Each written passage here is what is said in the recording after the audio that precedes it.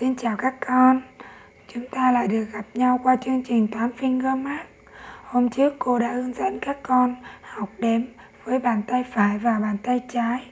Hôm nay cô sẽ cô trò mình sẽ ôn lại nhé. một hai ba bốn năm sáu bảy tám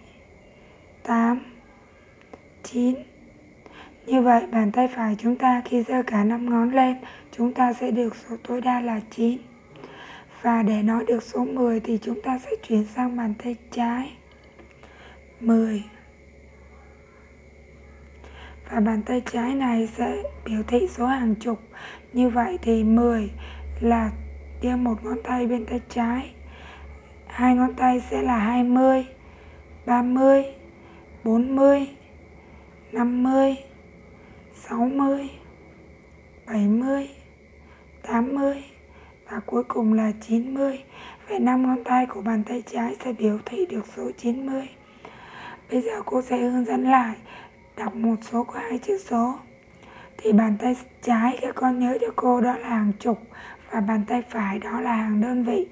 Bây giờ chúng ta cùng viết số 11. 11 tức là một chục và một đơn vị. Như vậy giơ tay trái một và giơ tay phải một. Như vậy đây chính là số 11. Tiếp tục số 15. 15 thì hàng chục là 1, hàng đơn vị là 5. Vậy đây chính là 15. 2 25 37 3 7 51 5 1 Như vậy là cô đã ôn lại cho các con số có một chữ số hàng đơn vị và số tròn trục và số có hai chữ số gồm một chữ số hàng chục, một chữ số hàng đơn vị rồi. Bây giờ mình sẽ ôn lại phép toán cộng với quy tắc 1. Quy tắc 1 là gì? Đúng rồi, quy tắc 1 chính là cộng bao nhiêu thì chúng ta thêm bấy nhiêu ngón tay và trừ bao nhiêu thì chúng ta bớt đi bằng đấy ngón tay. Chúng ta cùng ôn lại nhé. Với phép cộng, cô có hai, cô muốn cộng thêm một, tức là cô sẽ thêm một ngón tay. Như vậy kết quả của chúng ta là 3. Cô có một, cô muốn cộng với 3, tức là cô sẽ thêm 3 ngón tay. Vậy kết quả của chúng ta là 4. Bây giờ cô có 22. Cô muốn cộng thêm một, tức là cô sẽ thêm một ngón tay bên bàn tay phải. Như vậy đó là 23. Bây giờ cô có 31. Cô muốn cộng thêm 3, tức là cô thêm 3 ở bên bàn tay phải. Như vậy là cô có 34. Đó là quy tắc cộng quy tắc cộng với quy tắc 1 chúng ta chỉ cần thêm ngón tay. Bây giờ chúng ta sẽ trừ với quy tắc 1 trừ với quy tắc 1 đó là bớt ngón tay. Bây giờ cô có 4 cô muốn trừ đi một, thì chúng ta chỉ cần gấp một ngón tay xuống. Kết quả của chúng ta là 3 bây giờ cô có 4 cô lại muốn trừ đi hai. Cô sẽ gấp hai ngón tay xuống như vậy đó là kết quả là 2. Tiếp tục, bây giờ có 3. Ta trừ đi 2. Như vậy là còn 1. Cảm ơn các con, các con đã rất là nhớ về số và nhớ về quy tắc 1. Vậy bây giờ đặt ra một bài toán, đó là cô có 4. Cô muốn cộng thêm 1 thì nếu cô giơ lên một ngón tay cuối cùng của bàn tay phải lên thì nó sẽ trở thành số mấy đây? Đúng rồi, nó là số 9. Như vậy kết quả của chúng ta sẽ bị sai.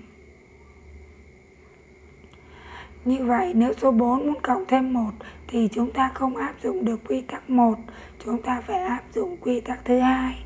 Vậy để học được quy tắc thứ hai này thì chúng ta phải thuộc dùm cô một bài hát đó là bài hát Anh bạn nhỏ của năm các con cùng học thuộc với cô nhé. Một, hai, ba, bốn. Anh bạn nhỏ của năm anh bạn nhỏ của một là bốn này. Vậy là anh bạn nhỏ của một, tức là số liên hợp với một, đó là 4 để cho 1 cộng 4 bằng 5 các con nhé. Cô sẽ đọc lại bài câu thứ nhất. 1 2 3 4 anh bạn nhỏ của 5 anh bạn nhỏ của 1 là 4 này. Được chưa các con? Các con hãy ghi lại cho cô, đó là anh bạn nhỏ của một là 4 bây giờ chúng ta sang câu tiếp theo. Anh bạn nhỏ của hai là ba này. Anh bạn nhỏ của hai là ba này. Các con ghi câu tiếp theo, đó là anh bạn nhỏ của hai là ba tiếp tục. Anh bạn nhỏ của ba là hai này. Các con ghi cho cô, đó là anh bạn nhỏ của ba là hai. Câu tiếp theo, anh bạn nhỏ của bốn là một này. Vậy câu cuối cùng chính là anh bạn nhỏ của bốn là một. Vậy bây giờ chúng ta cùng hoàn thành bài hát nhé. Nào mình cùng hát, Anh bạn nhỏ của bạn nhỏ của một là bốn này, Anh bạn nhỏ của hai là ba này, Anh bạn nhỏ của ba là hai này, Anh bạn nhỏ của bốn là một này. Một, hai, ba, bốn, Anh bạn nhỏ của năm. Được chưa các con? Vậy thì ngày hôm nay cô sẽ hướng dẫn cho các con bài hát, Anh bạn nhỏ của năm thôi. Và các con hãy học thuộc để hôm sau cô trò mình sẽ tiến hành cộng trừ theo quy tắc 2 nhé.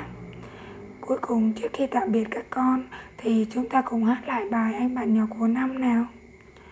Nào ta cùng hát anh bạn nhỏ của năm Anh bạn nhỏ của một là bốn này Anh bạn nhỏ của hai là ba này anh bạn nhỏ của ba là hai này anh bạn nhỏ của bốn là một này, một hai ba bốn anh bạn nhỏ của năm. Được chưa các con?